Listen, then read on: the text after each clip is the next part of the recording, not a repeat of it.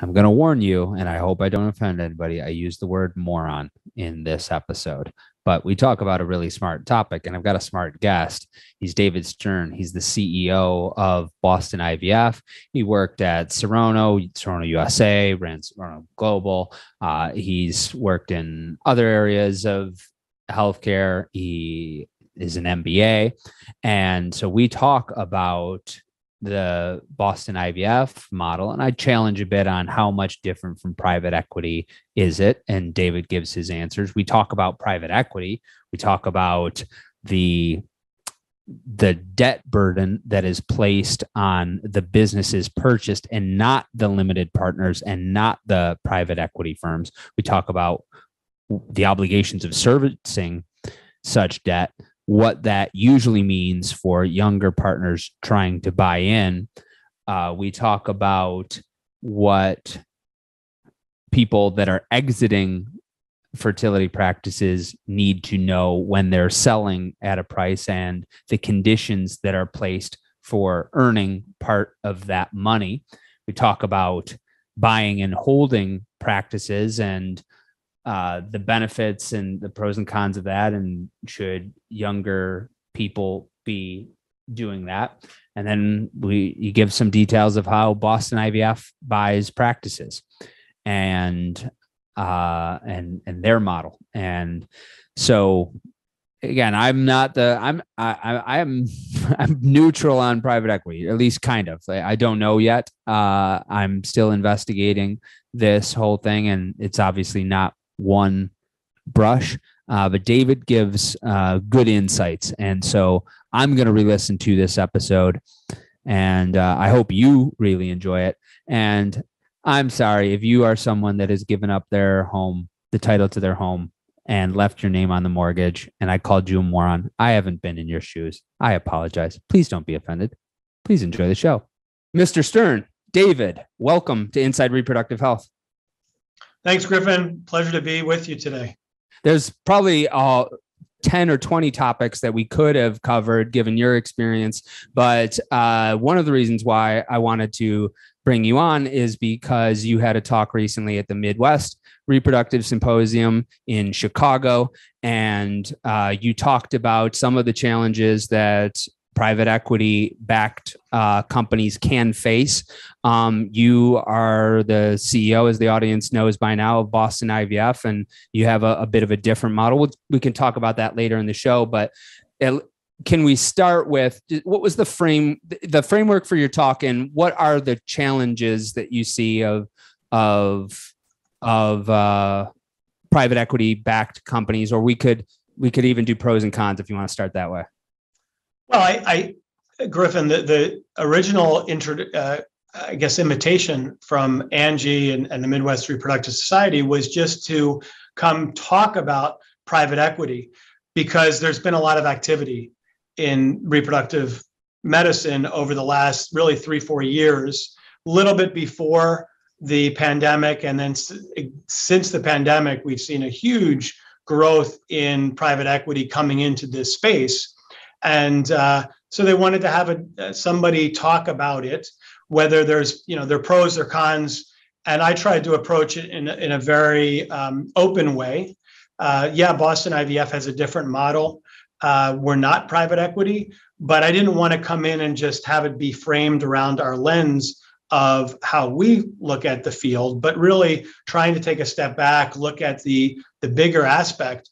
And first off, understanding the difference between venture capital and private equity because i think a lot of people especially physicians they use the term interchangeably and and they're not interchangeable terms yeah, uh, I've talked about that on the show too. I mean, and and I, I'll have you review my definition because I know that there's some overlap. But uh, private equity generally uh, purchasing existing businesses, uh, generally taking a controlling stake in the company, generally looking to sell within three to seven years uh, at a higher multiple, either by reducing costs, increasing profit, both, um, and funded by limited partners. Where venture capital also funded by limited partners, but generally purchasing or or investing in companies at a non-controlling stake that are uh,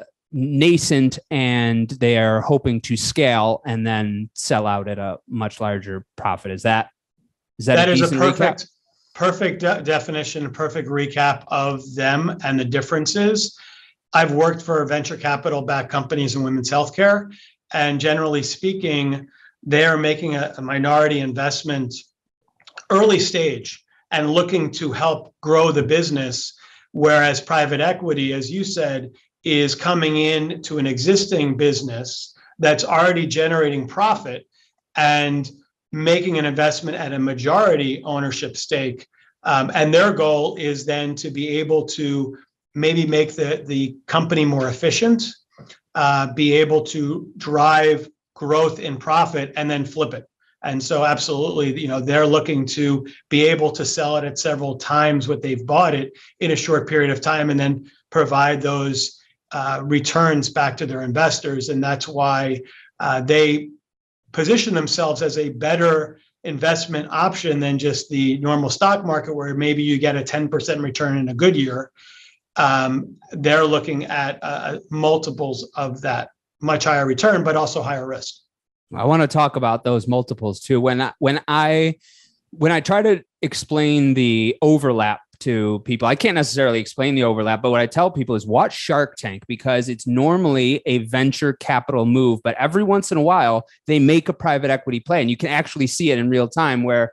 Kevin O'Leary will just say, Yeah. "Yeah, like I like your company. It's make. I don't want this product that you're trying to get me to invest VC. I want your company, and I think it would be better if I was running it. I'll give you uh, you know, I'll give you this much money for this person. So you can actually see where venture capital and, and private equity converge. Uh, and I do want to talk about um, what they what they do to increase those multiples. Let's start with some of that uh, efficiency. What is it the what is the efficiency that private equity uh, you know purports to bring or aims to to bring?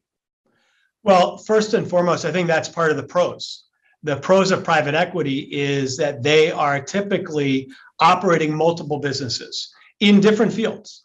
Uh, sometimes you know you have healthcare private equity that also have some a dry good manufacturer or from a manufacturing company or, or or some other things, and so they're not specific to fertility or even healthcare in general. Um, and they have people who are very good operators. Uh, these are people that know how to run businesses. Again, they might not have any reproductive endocrinology experience, they might not have any healthcare experience. Sometimes they do, and sometimes they don't.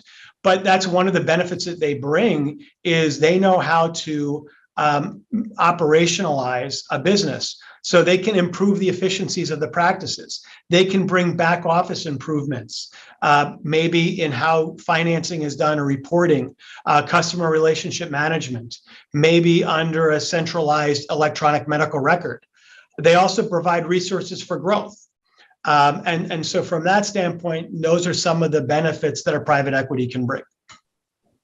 So when Richard Groberg was on our show, who's uh, uh, you know, he's been the the fractional CFO for companies before. He's helped different practices buy in and uh, buy back their practices from groups. He's helped them sell to groups. In his view, uh, he doesn't think that the networks so far have been successful in bringing that efficiency to bear. What do you think? I think um, I would agree with Richard for the most part. I, I believe an outlier is Prelude.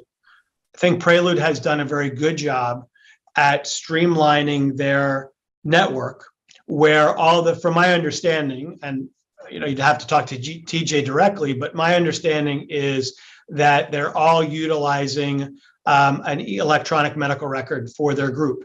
They're utilizing an app for patients.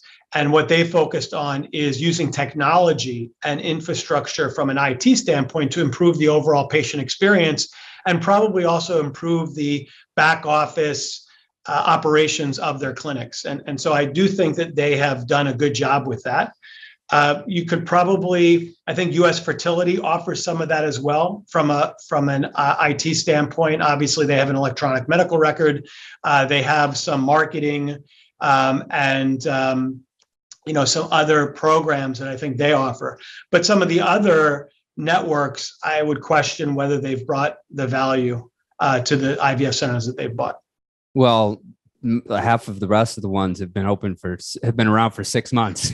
so, uh, you know, it, just, does, it does seem like that, and there's a new one popping up all the time. That's what I mean. There's always a new one, and and I I had uh um some the the the ladies that run uh rescripted on and we were talking about the venture capital stuff and i say I, i'm i'm not the jury the market is the jury and uh and only t- only time will tell of of all of these things I, and in many cases i'm not qualified to even analyze someone's business at that level. But it seems uh, that at least many have not been able to uh, provide that efficiency. And so, why do you suppose that that is?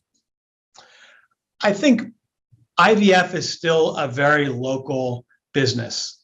And what I mean by that is IVF is complex. It's not easy. When you're running a dental practice, I think a dental practice is is relatively easy, or or um, another area of LASIK. You know, some of these areas that uh, or some of these industries that private equity have gone into in healthcare is much more cookie cutter, and those can be approached in a very similar way. IVF has so much complexity because just looking at how is it being reimbursed? Are you in a state that has uh, insurance mandate? And when you're in an insurance mandated state, you have to practice differently than when you're in a state where patients are paying out of pocket. You can be a lot more, um, I would say, you can have a lot more staff. You there, there's a lot more uh, room for uh, expenses because the patients are paying out of pocket at a high amount. Um, and you can still make a very good margin. When insurance is paying, you're already getting significantly discounted on what your fees are. And so you have to do a better job of being efficient in a practice. And so, for example, in a, Mass- in a Massachusetts, where we have insurance coverage, we can't afford to have physicians do ultrasounds. We have ultrasonographers that do it. So the physicians can spend their time seeing patients because that's what's generating more revenue is bringing more patients into the practice, not having a physician do an ultrasound. But if you're in a, smaller boutique IVF center in a cash state, the doctors feel like it's actually a, a, benefit to do the ultrasound because they get to see the patient every day and they talk to the patient. And it's a way to add some additional bedside manner to the patient. And, and that might work very well for that type of practice. I want to talk about that efficiency with insurance that you talked about because this seems like it should be an argument for but potentially being part of a network, being part of a, a better group. I just did a episode with on this with Holly Hutchison from Reproductive Health Center in Tucson and and the direction that employer benefits companies and insurance companies are going. But uh, I posed the the the thought that was actually posed to me by a client that it is better you have more leverage being having more of a certain market than being a part of a, a larger network. So let's say we're you know let's just say that we're in new york and uh, and we're a part of a big company uh, you know, where we can be part of the biggest uh, fertility company in america but we only have three docs out of i don't know how many are in new york 40 or 50 probably. And so uh, we only have three docs of those 40 or 50 and so they actually don't really have the leverage. Despite being part of the biggest company, they don't have the leverage. Whereas a group that maybe they're not a part of any network, but they're in a market that has 16 REIs and they've got 13 of them, that that's where the leverage is. What do you think? Oh, I totally agree with that. I think Shady Grove is a great example. Shady Grove owns the Maryland, DC, Virginia area. They have the most physicians, they have the most locations. And I would say Boston IVF I don't know that I would say owns the Boston area, but we have a, a, a bigger than a, a majority share. Uh, we have 15 satellite locations. We have over 20 doctors. So we have a geo in that geography, just like Shady Grove does in their geography. I would say we're the the, the large center, and we are able to have those economies of scale from a geographic standpoint. Whereas to your point, if you're in a you know kind of a smaller fish in a big pond, that could be very, very good from a profitability standpoint, from a revenue generating standpoint. but you're never going to you could be part of a very very big group but you're not going to own that geography because there's so much more competition so tell I, am making a note of of that so we can talk about like what what a company like boston ivf that does have a lot of uh market share in one area when you go into a new market what that's like but i'm making a note of that because i want to stay on the limited partners of each of these funds for a little bit of what they need for a successful return and what that means for potential practices. Actually, this is why I asked you to be on the podcast, David, because when we were doing the Q and A, I already asked you one question. I was like, ah, I want this one answered, and so I got got to get David on the podcast so I can have so I can have more time and have him answer this question. But I was reading a book by Rand Fishkin, who owned a very um, a, a, a, successful software as a service company uh, called Moz, and they they help people uh, with SEO and digital marketing. And they're probably like a 25, 50 million dollar company, something like that. Um, at this point, in they're in Seattle. Uh, they got their VC funders early on, um, and what Rand Fishkin talks about in his book Lost and Founder is that there is a dis there's a, a disalignment between what the limited partners need and what the founding what the founders of the company might need to exit. And so he says you know if i'll just use round numbers you get 10 people uh or your your your your limited partners invest in a fund that is going to invest in 10 companies they put a hundred million dollars into it, but they need uh, you know half a billion or a billion out of it. Then if one company says like, oh, we you know we we started at five and we could exit now for twenty five, that's in the interest of the founders. We could five x and um, and we're ready to be done with this. But the limited partners see that or the the VC firm sees what they need to deliver for the limited partners and says, well, if we let you out for 25, then we're only, you know, then we're 10% not likely to reach, you know, we're that much less likely to reach our 1 billion mark. And so, uh, so they have them hold on and, and maybe they are able to grow to that unicorn status and maybe they're not. Does that first question is that, uh, does, is that a, have you experienced that? Second, is that also present in private equity? I think Griffin, um, what I learned in researching for the presentation at the at the Midwest Reproductive Society, I, I read several books and online articles about private equity, and I really educated myself. And I, quite honestly, I was shocked uh, by what I learned because, like you said, a private equity has limited partners, and the limited partners are the ones that are funding it. The actual um, financial sponsors who essentially own the private equity company put very little bit of their money in. They're putting maybe 10% of their own money in, and they're getting 90% from outside investors, those limited partners. Um, and then part of the way the mechanism works is when they buy a company, and you see this happening in the market today, the headlines for KKR, who's trying to uh, raise $800 million uh, to offset the cost of buying IVIRMA. They're going to an outside fund, a, a bank or a credit, private credit, to take that money and to offset some of the costs they're using to buy it. Now, the debt to service that loan is borne by the individual company, not by the investors and not by the private equity.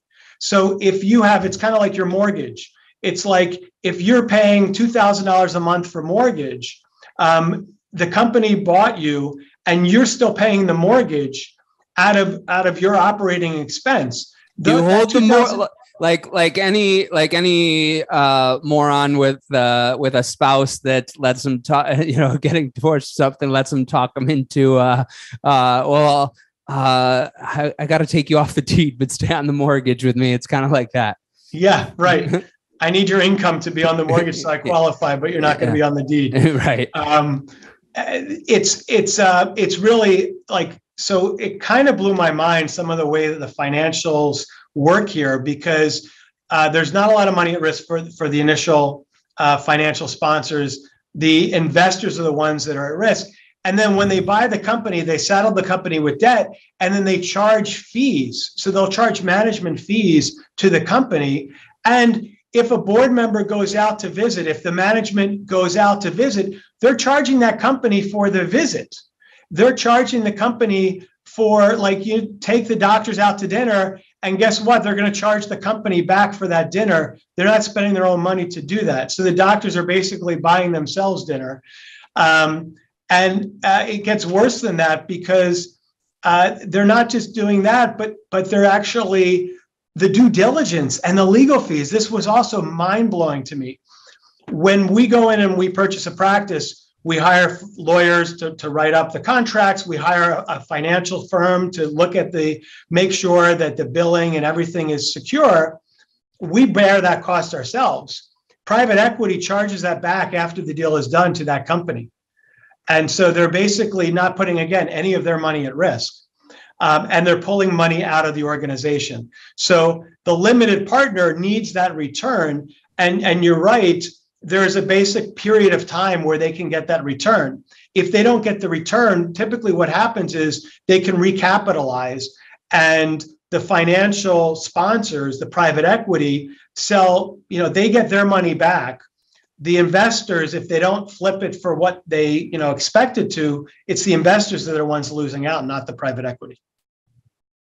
So I want to talk about how the Boston IVF model differs from that, but I'm wondering if you can speak to how this dynamic impacts younger docs buying in. And there's a camp of people that say that really the only people that this benefits is the doctors who have built the practice that are within three years or so of retirement, and this is their exit, and that uh, the younger docs do not have the opportunity to to build that equity for themselves. I've also heard the the control. You know, there's a doc that I really respect that I was having lunch with at PCRS that um, that has sold recently who said this benefits the younger docs the most because they have the opportunity to buy into something that's bigger. The private equity group is going to to sell, and then they have the opportunity to uh, to be a part of that. And so, um, where do you think? What's the truth? I don't know. I don't. I think the truth is in the eye of the beholder. Honestly, I, I believe the reason why all this is happening, I, I think there's a perfect storm going on. And one of the one of the perfect storms is the physicians that founded the practices are entrepreneurs. Uh, I mean, I I've been in this field for for 28 years, and um, the amount of growth that's happened in IVF is is fantastic. And the physicians like Michael Alper, who's who's one of the founders of Boston IVF, when they started Boston IVF 35 years ago, they left the hospital and started a private practice. It was one of the first private IVF centers in the United States. Michael Levy, uh, Art Sagoskin, who uh, did the same thing. They left, they started Shady Grove. They took a lot of risk and they didn't know that it was going to grow to what Boston IVF is today and Shady Grove is today. So the physicians that were the entrepreneurs that started these practices and grew them, why shouldn't they? be allowed to sell and make a return on that investment. They've put 20, 30 years of their lives into building something. And I don't think anybody should say, no, that's not fair. You can't do this. What's happened is because these companies, the IVF centers have become so big that a, a new doctor coming out might have loans, they might have student loans.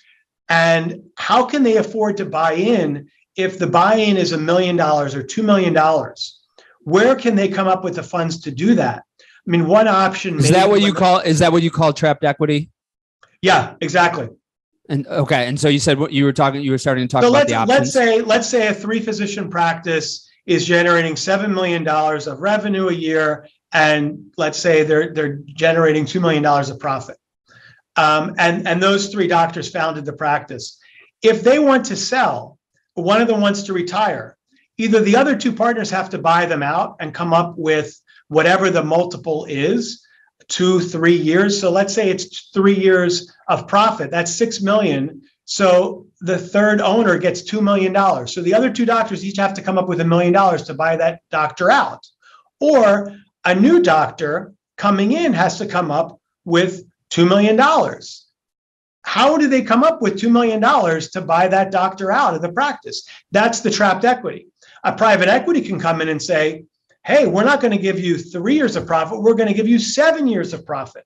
And we'll give you even more for that equity that you have that's trapped in your practice. And that's exactly why private equity is seen as a very good deal for the founding doctors because it's a way for them to recoup uh, and to be rewarded for all the blood and sweat that they've put into building that practice. So, so I would never begrudge them from from doing that. No, nor would I. But at, at, the end of the day, it's it's it's someone's business, uh, and it is hard work to build a business. So, um, the question is, the question I'm hoping to to learn more about is is it beneficial to the younger doctors? But you talk about how this is often advantaged be, for the physicians because uh, the private equity uh, is or it's it's advantage to sell to private equity upon exit or nearing exit because they can give more than the uh, potential partners uh, who might have to put in a million dollars. Right. But, so but there also might be there might be a catch, and that's why I think it's important to understand the contracts. Well, that's why because, I want to ask about because wouldn't it have to be true in order for it, okay, this private equity firm is is willing to give me more, that I would have to get more upfront and have less in the earnout like it seems to me like that would have to be the case as opposed to because couldn't they do an owner finance deal with the younger docs and, and they could pay them over time? They, they could. And i think the question is different private equities have different models. So in some models the person that is being bought out needs to reinvest. I, I was on a board of directors of a company that got bought out by private equity and the senior management had to roll some of that money that they got paid into into the new new vehicle, the new uh, private equity company. Um, so that's not unusual. That let's say the doctor gets bought out, but they have to put in twenty or thirty percent of that money into the current you know business, and then we'll get an earnout at the end when the private equity flips. The question is, will the private equity flip? And if they don't flip at the multiple, because they're targets, if you don't hit your target, then you don't get you know that money back. That money is sunk. It's lost. It's just like the investors. You put money in they didn't hit the targets. Sorry but you're never going to get that additional 30% that you thought you were going to get. And so that's where there have already been cases where physicians expected to get a quote a second bite at the apple or another bump and the private equity didn't hit their targets. And so the physicians not only do they not get money, but sometimes there's a clawback provision that the doctor has to give some of that upfront money back because the private equity didn't make the profit targets that they were supposed to make.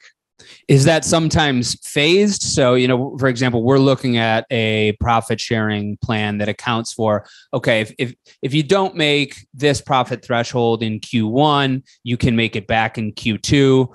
Uh, and you you can make it back for Q1. You can make for for the rest of the year. So is it ever phased or is it typically in one window? And if that one window isn't reached, then there isn't the opportunity to.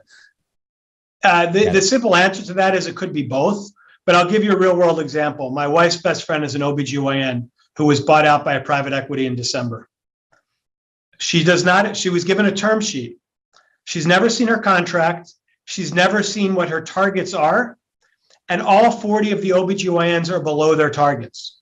But the company that bought them hasn't actually showed them what their targets are. They just tell them that you're not achieving your targets. So there's not a lot of transparency there.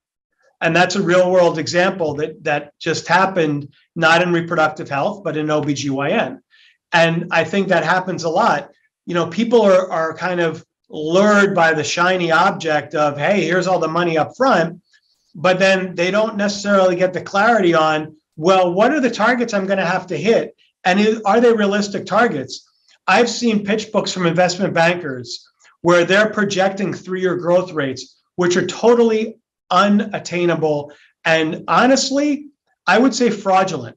There is no way that you can grow a top line revenue by 20% and your profit by 100% you're you know you run a business griffin there's no way that you can bring in 20% more top line, but expect to, you know, unless you're going to cut, you know, all, all of your staff and be a one man show, uh, it just isn't realistic. And yet, some of these investment bankers show these pitch decks and they, you know, show, oh, look at IVF, it's growing at double digits and we're going to be able to grow this.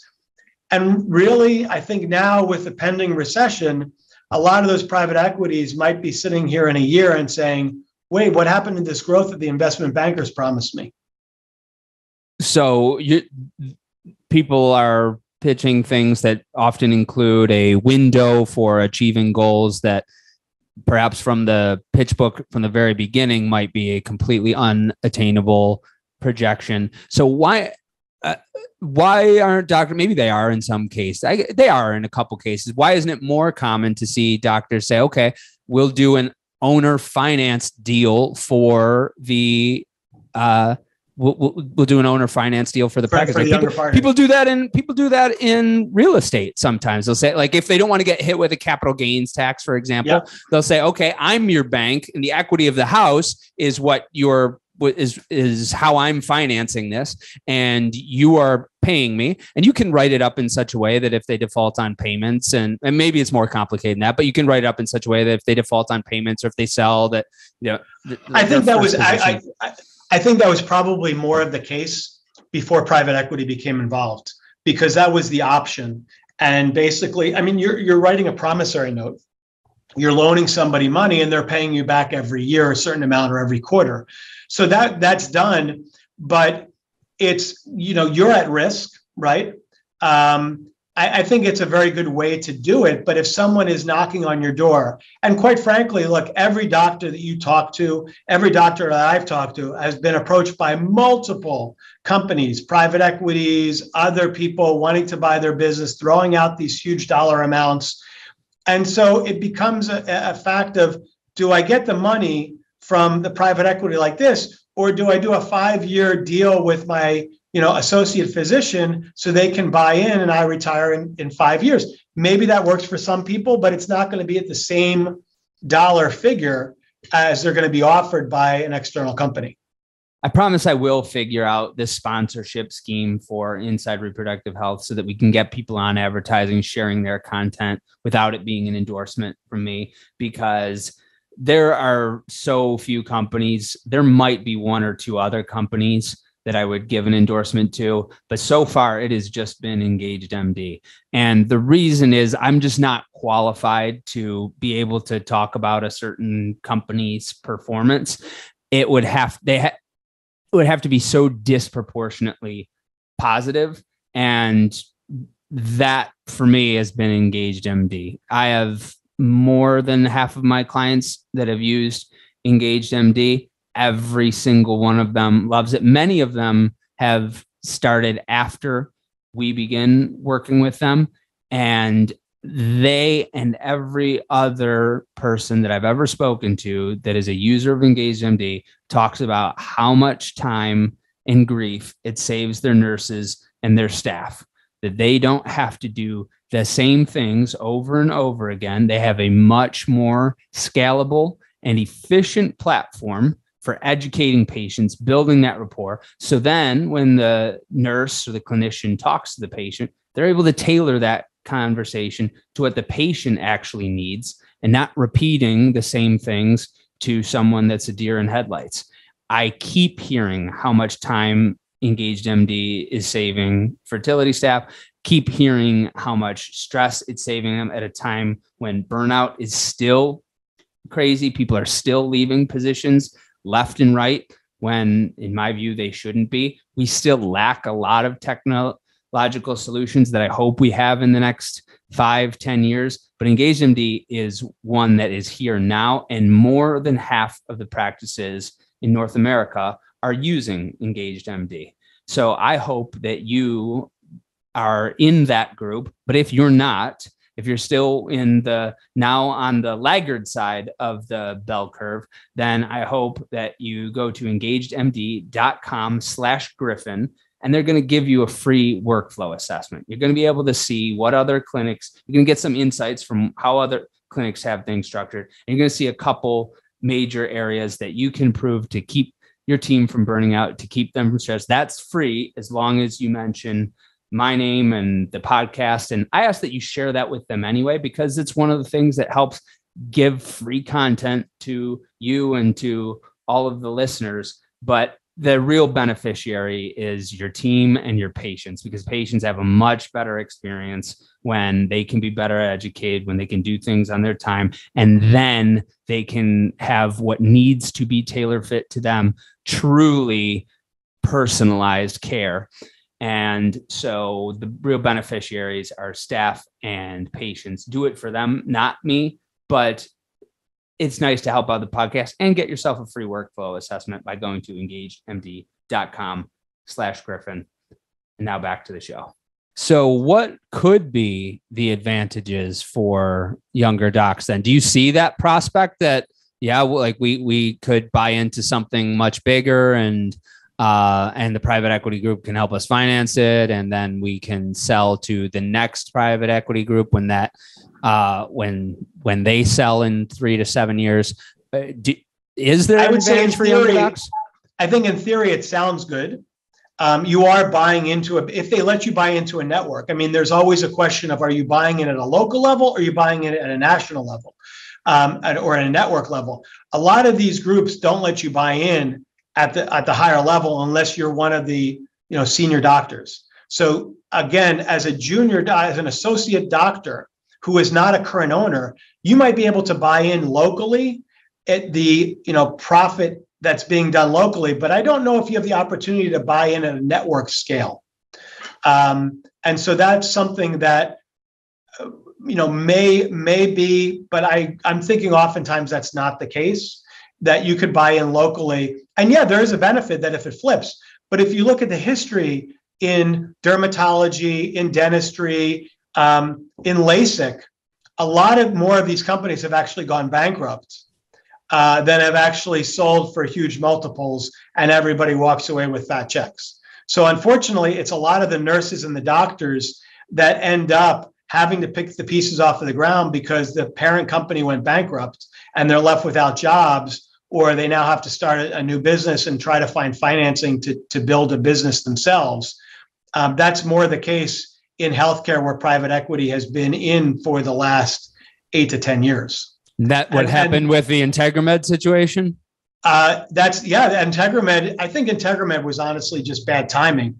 But you had Laura Katz Olson on your show, and she wrote this book, Ethically Challenged, about private equity in healthcare. And she has numerous examples from all these other healthcare industries where one after the other has gone bankrupt the doctors are interviewed and they say, I made the biggest mistake. I didn't realize this.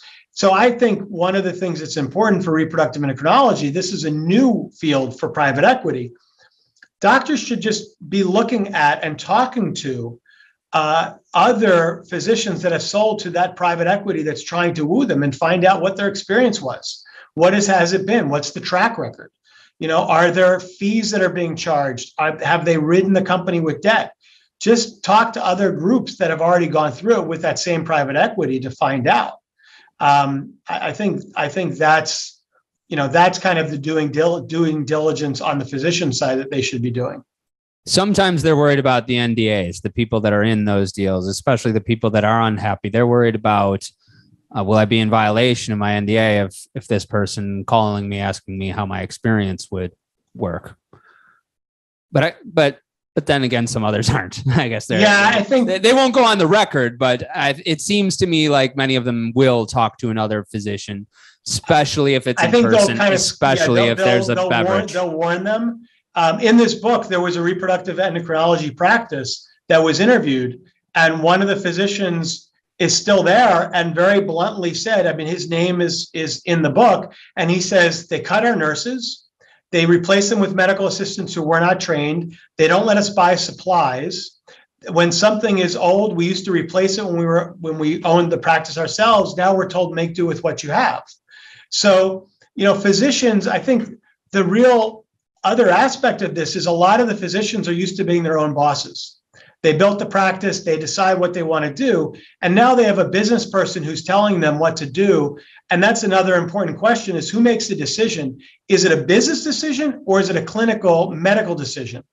And not often, you know, in what I've read, a lot of times the decisions are made purely on a business rationale for profit, not on uh, what's right for the patient or what's right medically. So it's not immediately obvious to me where business uh, operations and clinical operations begin. I don't think it's like a completely, yeah, there's not like a, a, a supremely thick line always. And sometimes uh, it seems like there's overlap. And you use the example of ultrasound. I've used that example before, but you said, you know, like in the state that we're in, what, what insurance reimburses for, we can't afford to have a doc using uh, or doing ultrasounds. We have techs for that. And some docs would listen to that, Dave, and say, that's a business person telling me how I can practice because of business considerations.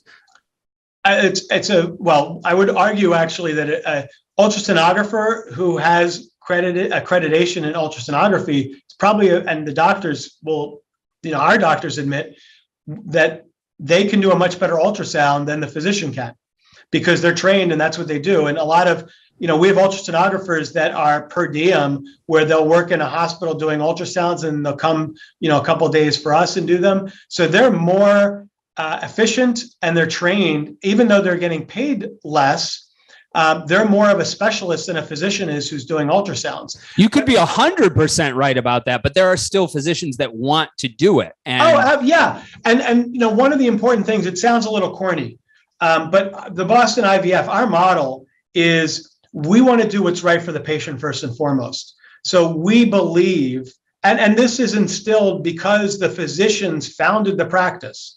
And I'm not a physician; I'm an MBA, but I can tell you I don't mess with the lab and I don't mess with the physicians um, because those are the two most important assets that we have in our company.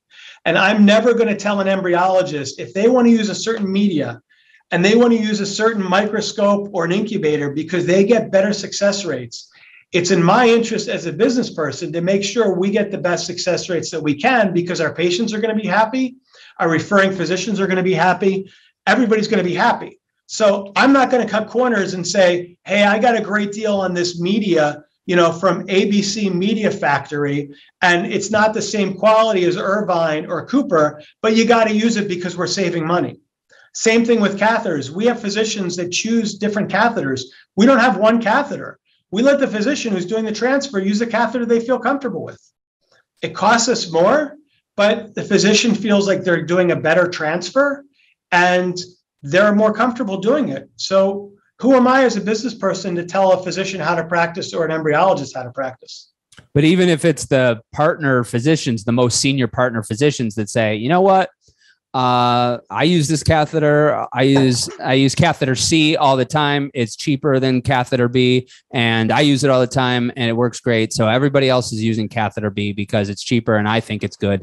Isn't that still a business decision made for the rest of the group when when things like that happen or in the case of ultrasounds like okay i'm the founding physician i've been uh, and my part my senior partners agree with me uh, and we don't think we, we believe that an ultrasound tech can do a much better job than a physician and we uh, can't afford to do it. Isn't that still a business decision that the that the the like it's still it's a, it's a business yes. It's a business decision but it's being made by the clinician. And and i think the clinician is the one who determines whether we'll have an impact on the patient or whether they'll have an impact on their success rates. And at the end of the day the patients are coming to a practice and they're whether it's insurance or a patient paying they're paying to get pregnant. They're paying to have a baby. So if the clinician the you know senior physician has made that determination they feel that it is maybe a business decision but the practice medically is not going to suffer. I'm not I, am not qualified to make that decision, but absolutely, a physician, if Michael Alper, our medical director, makes a decision from his medical director, he's he's the one who's the clinician that's making the decision. So I think, because- I think that's something that physicians need to take into account too. That like they that it can be other physicians. They don't always agree on, as Oh, we no, know. No, Uh, and well, so, so, one of the things, you know, one of the things that's unique when I was uh, when, I was on the industry side, I ran the U.S. for for EMD Serono. I ran global for Merck Serono. I've been in my 28 plus years, probably 75% of IVF centers in the United States. There's a handful of IVF centers that actually look at key performance indicators, KPIs. Now, private equity is that's one of the benefits. They'll look at these KPIs. But one of the things that we do at Boston IVF is we blind the physicians, but we'll look at transfer rates. We'll look at pregnancy per transfer by physician with a blinded letter for each physician, and we'll be able to see how everybody stacks up. And if people fall below a, a standard deviation, we have that doctor go work with somebody who is above a standard deviation to get retrained. Um, and it's done, you know, in, in a in a very respectful way. Nobody's name is in front of anybody. Nobody knows who the poor performing ones are. But we look at this and we try to then make uh, re- whether it's training or or other ways. Like we might have one of the top physicians in our grand rounds do a 30 minute talk on how do they do an embryo transfer what are what are their kind of secrets so that everybody learns and improves but you're absolutely right you know physicians will all have different opinions um, and that's where the data collecting the data looking at the data on a regular basis it's hard to argue with the data every physician always wants to see uh, uh, you know double blind randomized controlled trial because you can't argue with that data it's the same thing if you have key performance indicators oh, well, the prioritization of those key performance indicators adds another variable. But let's talk about the Boston IVF model because uh, that was a question. That was the question I did have for you at uh, MRS, which is, I said, okay, David, like there's all the, there's these uh, considerations for private equity, but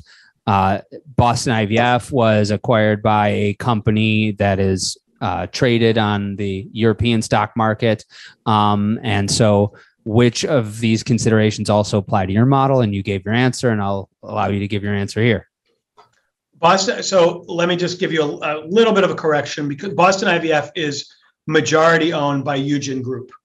Eugin is a, Spanish IVF group with IVF centers in Europe, South America, uh, North America. Where Boston IVF is in the United States. They just uh, acquired Trio in Toronto. Um, but besides IVIRMA, probably the largest global IVF group. Um, and they were acquired in uh, 20 uh, April of 21 by Fresenius Medical. And we fall, Eugin falls under the Helios Healthcare Group in Fresenius. Fresenius is a $29 billion uh, market value company. Uh, they own a private group of hospitals, the largest group of private hospitals in Germany and Spain. And so the IVF group falls within that. So in their medical, in their medical group. Our model is we're strategic. Eugin only does IVF. Eugin doesn't have OBGYN or dermatology or anything like that. They just focus on IVF worldwide. Boston IVF, we only do IVF. So we're strategic. Um, there are other groups in the US like that as well that are strategic, but we're what we would consider a strategic acquirer. We don't have other healthcare businesses or non healthcare businesses in our group. We're just doing IVF. Because we've been doing IVF for 35 years, we're physician run uh, with a management team we make clinical decisions based on what I just said, um, the best interest of the patient. And for the 35 year history of Boston IVF, uh, the mindset has been do what's right for the patient and the money will follow. And so that's our philosophy. That's also Eugin is very hands off. They are obviously there are targets that we have financially, but they never burden the doctor with that um, as the CEO of the Boston IVF network, yeah, I have targets that I have to meet. And when I don't meet those targets, I've got to explain why we haven't met them. But we're not looking at, we're looking at realistic growth. We're not looking at doubling. We're looking at what will the market grow at? What will we think is reasonable? And we set our own targets. Um, and it's like any other business. When we set a target, we're expected to achieve on that target, but we're not going and saying we've got to grow at a 50% rate in one year. We have realistic targets. What we also do is we see ourselves more as a physician partner. We're going to come in as a partner and it's very it's a very simple model. We don't have holdbacks. You don't have to buy stock in Boston IVF. When someone partners with Boston IVF, there's an agreed upon price, they receive cash and in return, we receive a piece of the business. Every year the profit is taken and distributed based on ownership. So if we owned 60% of an IVF center, when the profit is distributed, we get 60% of that and the physician owners get 40%. And every year we distribute it based on that percent ownership. We don't do it based on, oh, you didn't meet your target, so we're going to hold money back. Or they're private equities that sometimes you don't get profit distribution until they flip. So even though it's accruing in a bank, you don't get it until they actually sell the company three to seven years down the road. And then you get it, you know, based on what you achieved. So we feel like we have a simple model. Um, we don't come in and we don't tell people how to practice medicine. For our partner groups in Utah and Ohio and Delaware, we don't come in and change a lot. If they want our help, we'll be happy to do that.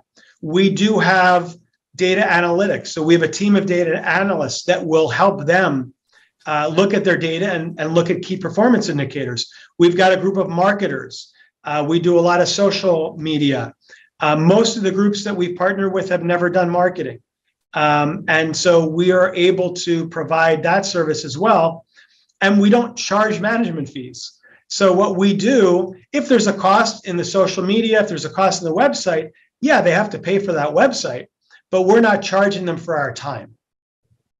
So um, the part that I think that I'm missing is why don't you have that uh oh I don't, I don't whatever obligation isn't the right word to Eugin but you know where where they are expecting certain level of returns because why buy a company if you're not involved in the growth if you're not expecting a certain you know certain metrics for growth we we absolutely are looking for growth uh, but we're not looking for growth in a year or two Eugin is not going to sell Fresenius is you know I, I, would hope that they're not going to flip. They're, the difference between private equity is they have a period of time where it's you know this is what they do. Three to five years seven years they flip.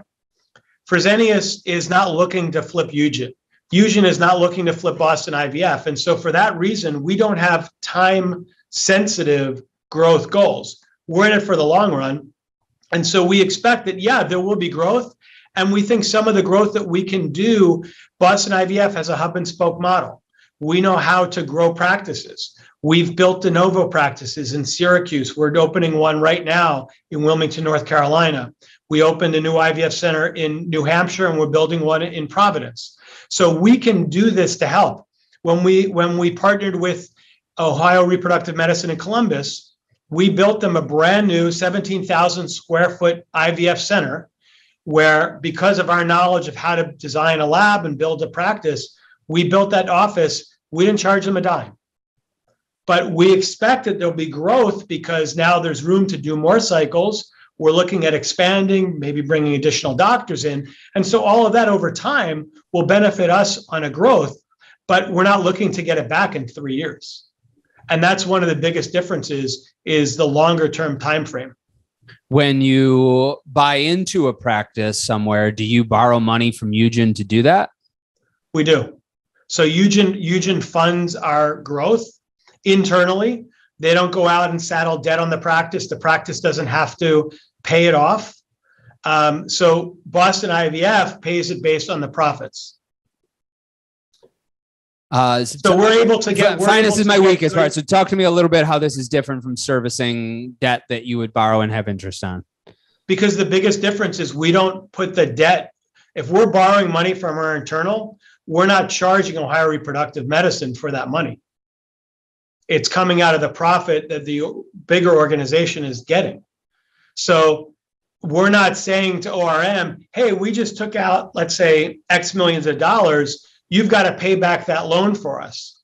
No, we don't do that. We pay back the loan ourselves. I want to talk about uh, whether it's this uh, actually with this model for younger docs can when can somebody buy in as a as a doc at boston ivf i just got out of fellowship. I'm going to work for boston ivf in in new hampshire or wherever. Let, let me give you let me two two examples. When we acquired reproductive care center in salt lake city utah one of our former fellows christy moss came in and bought in and became a partner day one. So she moved from san diego to salt lake we did the acquisition and she bought in and she is a partner there. Uh, two additional physicians in Delaware when we acquired Jeff Russell's practice. Two physicians, Amelia Bachman and George Kovalevsky, bought in day one, and they're now owners of that practice. Um, so in those two situations, well, that's for the one, existing practices. Uh, that's like if I buy a house and I'm like, all right, well, I'll go in with you, and you'll get, we'll, we'll, we'll get, we'll get uh well you don't buy 50% of a house. But we're all right we're buying a business. So we're buying yeah. it you know we're, yeah. we're buying 60% of the business. So we'll get 50 you get 10 like uh, right. uh, so but what about like but they didn't have the opportunity to do that. So absolutely. help- no it's a great opportunity for them but what about right. the people that are just like coming to work for boston ivf and it's not uh an like an individual practice? Like how do they buy in? So we have a we have a partnership track um, if there's a time period, so there are a couple components, but there's a time period involved. And basically, the way we work it is exactly what you were saying. Boston IVF acts as a bank, and we provide the physician that wants to buy in with financing over a period of time. We try to model it so that they get an increase in salary, they get a, a profit distribution, and their payoff every year would be more than covered based on their profit distribution and, and their growth how it for the you said that some folks can buy like for other networks they can buy in maybe at the at the group level but not the network level. When somebody's buying into a you know when boston ivf you know, acquires a uh, a practice in in smithtown usa uh, is that person that and you have to bring in an rei and so and they're becoming a partner from day one is are they just uh, a partner in the smithtown practice or are they also a partner in boston ivf so everything is localized. And I think that's another advantage of our model. If Utah performs very, very well and Ohio doesn't, Ohio or Utah is not saddled with the loss in Ohio. Utah is its own entity. So they're responsible for their own. If they do great, they share in those profits. If they don't do well, they're insulated. And another practice that's doing good in our network isn't affected by a practice that's not doing well. So I think there's a lot of security in that. So the answer to your question is if someone's buying in, they can buy in at a local level. Or if they want to buy in at a higher level, they can, but we don't force them to. So it's entirely up to them if they want to buy in locally or if they want to buy in at the network. While we're talking about uh, younger physicians, I read a paper from Yale that talked about the benefits of buy and hold businesses, just like just like uh, the, the stock market, the, the, the buy and hold strategy is often better than the flip strategy. They cited a couple things. Um, one is you know, the equity that you're building yourself, the compounding that comes from that, uh, the the you know capital gains and any other taxes that can come from selling redeployment risk if you sell and and maybe you're not as successful at the next venture uh, so they made the case for start a business, invest in that business, and hold it your own damn self until you're ready to to not do it anymore. And so our our younger docs losing out by not doing that as much and because they're coming out settled with debt because practices are more expensive but are they are they losing out by because they're not creating a business for themselves putting in that sweat sweat equity, them getting the other partners, them making the efficiency, and then and owning you know hundred percent of it, or eventually until they sell to their other partner. Are they are they missing out by not doing that? I think they could be absolutely. I, I mean, look at yourself as as an example. You know, you build a business, you're growing it obviously, and you're going to reap the benefits from that. Uh, I look at Spring Fertility. Peter Klatsky is a great example. You know, he got out, he started a business, and he's growing it. He's doing a phenomenal job of growing that. So yeah, I think the benefit of what you're saying is you're investing in yourself. and you're going to be you know either successful or detrimental but it's your sweat equity and as a i would much rather bet on myself because i have control and i know if i want to work hard i'm going to go see you know all these patients um I, and and uh, i think one of the one of the challenges of a model when private equity is buying out a physician and you lose that incentive for the physician to have control over their own ability to grow, I would be concerned from a private equity. Uh, we think physician ownership in Eugin is very important. Physician, uh, so Eugin's model is never to buy 100%. We don't want doctors as employees. We want doctors as partners. And so that's a big difference. And I personally agree with you. My wife and I has a side business in real estate. This is for, for another podcast. Maybe you'll do at some point. But um, you know, we've we've bought real estate, held it over many many years, and then reap the benefit of selling uh, as that you know as, as that value has accumulated.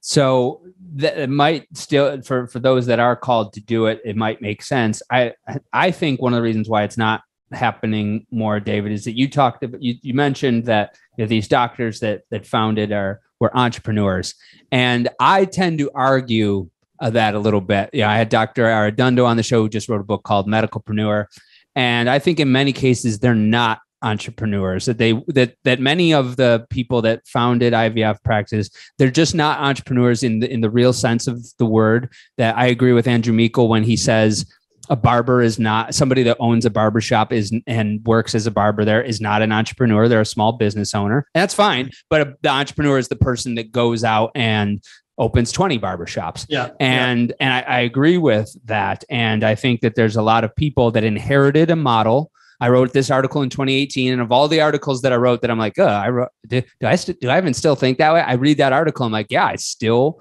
feel that that's true. That that many practice founders in the 90s or so inherited a model that was more or less the same as a the general practitioners model from the mid 20th century. They made money and did well because they have a trade that is highly in demand. And because their trade is so in demand that it allows you to not, you don't have to be perfect in every area of business when you are that in demand. And it allows for a lot of error that many other businesses uh, they they have to get better at. And because of that, I think that there's a lot of people that started practices then that weren't entrepreneurs, but now entrepreneurs are in the space, whether it's Eugin and Shady Grove and the Michael Alpers and the Michael Levy's and the TJ Farnsworths and all uh, Kindbody and G- everybody. Entrepreneurs are here now. And it's like saying, yeah, I was a professional football player in the 50s versus I'm a professional player in 2020 with Patrick Mahomes and and uh, Arnold and uh, and everybody else in the. Hello, in the Josh league. Allen. Come on. Yeah, yeah, uh, Josh Allen. I didn't want to. I already just gave him a plug recently, but you know, uh, you know, Aaron Donald and everybody else, and so um, it's like, yeah, a couple of those guys, and you mentioned some of them could have played in the league in the in the could play in the from the 50s could have played in the league as as as some of those folks in the 80s and 90s truly were entrepreneurs and and some of them are still here now but it's there is that level of difference so um, I, I agree 100% with you um, griffin and and you know thinking about it um, I, I would all I would add in Bill Schoolcraft and, and Richard Scott and Alan Copperman. You know, these are, are people that are incredibly bright, gifted physicians who have changed the way we practice medicine in reproductive endocrinology. And so you can have both a business entrepreneur or you can have a scientific entrepreneur. And uh, yeah, th- then there's a lot of people, it's like anything else. You have the early adopters and you have the people that are kind of driving forward. And then you have everybody else who's just kind of like, hey, yeah, that looks good. And a lot of medicine is about, oh, I don't want to try it until somebody else does it and shows that it works. Um, so I, I, think you make a very, very good analogy. Um, I think there's also an aspect where I've I've heard this from from many physicians, and I think this is true when they were in residency, when they were in fellowship, when they were coming out, they worked weekends. You know, they worked late. And today, physicians coming out are saying, "Hey, I want to have a work-life balance. Uh, I want to work three days a week or four days a week." We we have physicians that come in and say, "I've got a young family. I want to spend my weekends with the family. I don't want to take call." And hey, that's great. Good luck in a practice that might let you do that, but there aren't a lot of practices out there. I mean, you're kind of coming into a field where you've got to be available when the patient's needed. We do 365 days uh, a year. We're doing retrievals on Saturday and Sunday. And if you don't want to take call on the weekend and you don't want to do, like, maybe this isn't the best practice for you. So there's a maybe a little bit of a difference of people's mentality of what they're looking for and maybe a little bit of an old school hey um, you know you gotta you gotta put in a lot of time you gotta work really hard i mean it's like anybody starting a business when you're starting a business uh, you know you're working 24 7 you're not taking vacation you got to get this thing off the ground because it's got to be successful uh, with regard to that i know that i'm i pissed a bunch of people off by saying that and uh, i I am not dismissing what people have accomplished. I know that, and, and half of them will probably be my clients, but they're, you know, I, if you built a group and you've had a successful practice, uh, that that's a tremendous accomplishment. I'm making the distinction between small business owner or practice owner and entrepreneur. And I don't even put myself in the entrepreneur category yet, David. I don't think I've earned it. I think entrepreneurs are faster. They put capital at mm-hmm. risk more.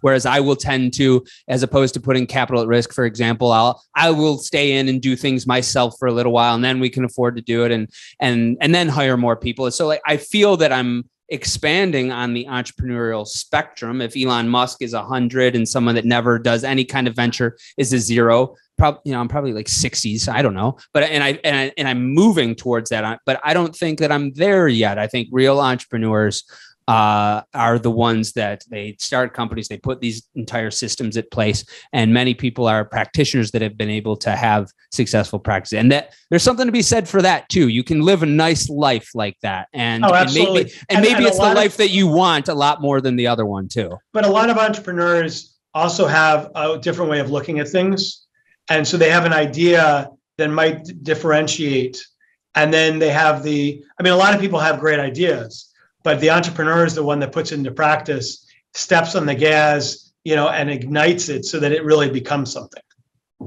So I want to let you conclude how you want to conclude, but before that, I do want you to look into the David Stern crystal ball that you don't have none of us can predict the future of the economy but you mentioned the recession. I've been preparing for recession since the last one man. I started my career in 07 i'm from buffalo. I'm always ready for recession david. My whole company is built on being ready for and i thought i said in 2014 i was like this feels a lot like 2007 i've said it every year since then and i've been wrong. And uh and so it, it might not happen now. What do you think is going to happen? And what do you think that means for the fertility field?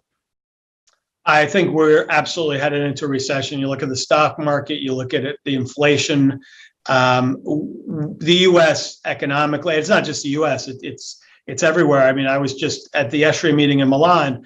The euro and the dollar are right at the same price. It hasn't happened in 20 years. So the globe, there's a global recession that's happening um, you know, you could argue is it the war in the Ukraine and, and Russia and oil and all these different things. But I, I think over the next, I think it's going to be bumpy. The next 12 to 18 months is going to be bumpy in the United States. What does that mean for IVF? When you're in a mandated state, if you have the employer carve outs, I think that will still be important. I think it will be harder I was just talking to someone right before I got on with you who's telling me on the West Coast, they're already hearing that doctors are feeling um, they're not seeing the growth that they saw in 21. It's come back more to flat. You know, they're not seeing the number of cycles, the number of new patients. Their waiting lists aren't like what they were last year. So I think we're already starting to feel it and to see it. And in IVF, historically, it's the cash markets that see it a lot more. If you look at 2008 and 2009, I was running the US for, for EMD Serono, and we saw really big um, hits in Texas, uh, Florida, uh, California in terms of volume.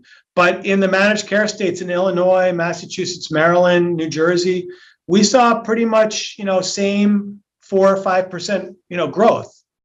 Um, and, and, so that's what I would expect. I, I don't think we're going to be seeing double digit growth that we've seen in 21. Uh, but I do think that um, we're, we're, we're going to be hit in the next 12 to 18 months and we're going to see cycle volume drop. We've covered a lot of bases today. How would you like to conclude with regard to buying, selling, funding, and operating fertility practices? Well, Griffin, thank you so much uh, for having me. I, I enjoyed it. it. it. seemed like it actually flew by. One of the things I, I, would say the most important thing is when we're looking at an IVF center to partner with, we do due diligence. Um, and the most important thing is thinking about it in a medium to long term. When you're getting married, there used to be a great analogy. Uh, did you ever hear Seth Godin? kind of a business author. Origin, originally from Buffalo, New York. It is oh. cue, cue ball head and yes. and signature I'm glasses. A, I'm a big I'm a big Seth Godin fan, and Seth Godin used to talk about marketing when you are dating somebody, and I know you're engaged. Um, you married now, married now, oh, Dave. Married. T- right, two months in. Congratulations. So, um, 20, 28 years. Um, when you're when you're dating someone your first date is not about getting married. You have to date someone, see if it's a right fit, and then get married. And I think we approach it the same way. We want to date our practices that we're going to partner with, see if it's a good fit, see if the culture is right, see if we have, you know, commonality. And an IVF center that's being approached by anybody, a strategic, a private equity, venture capital, whoever, should be doing the same kind of due diligence. Is there a cultural fit? Do you agree on what the midterm and long term goals should be? Where do you see yourselves in five years? And having a very open discussion about what that looks like and, and talking about who makes the decision. Does business trump medicine or does medicine trump business? And those are important discussions to have before, you know, on those dates um, before you get married. I, I was, you know, with COVID, we've gone out and it's very important we go out and we do site visits. We want to look at the ivf center. We want to talk to the physicians. We sit down with them. I can't tell you the number of deals that we haven't won where the other party that wins has never set foot in an ivf center that they're buying they've never met the physician face to face it's all been on zoom and they do a video tour and if i'm spending that kind of money now, granted, when private equity is doing it, it's not their money, it's someone else's money. But it's kind of like going in to buy a house and doing it on a Zoom video and never walking in that house. That's kind of scary. Um, and so, if a physician, if I'm a physician selling my practice and I never get to meet the person and they never come to see what my practice looks like, I would think long and hard about are they the right partner for me? Yeah, yeah, you're not. Uh, it's it's definitely there's definitely missing something between that point in the date and marriage. Uh, but David, we're going to link to your LinkedIn in the show notes so that if people ha- want to can have this conversation with you, that they can. Thank you so much for coming on Inside Reproductive Health. Griffin, I appreciate it. My pleasure. Enjoyed it very much. Have a great afternoon. You've been listening to the Inside Reproductive Health podcast with Griffin Jones. If you're ready to take action to make sure that your practice thrives beyond the revolutionary changes that are happening in our field and in society, visit fertilitybridge.com to begin the first piece of the fertility marketing system, the goal and competitive diagnostic. Thank you for listening to Inside Reproductive Health.